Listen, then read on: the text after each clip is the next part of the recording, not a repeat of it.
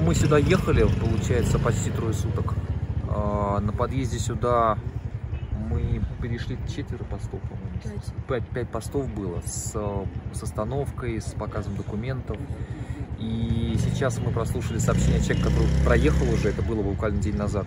Их развернули в 100 километрах от этого места, и мы считаем сейчас, что нам очень повезло. Мы не, не- не бежим, но получается, что бежим, потому что если сейчас не получится, то, боюсь, потом уже не получится точно. Вот. У нас законы пишутся и меняются очень быстро.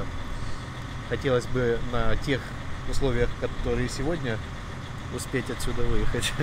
Дорога длинная. На дороге стоим,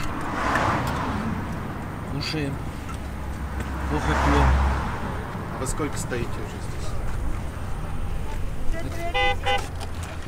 Здесь второй сутки.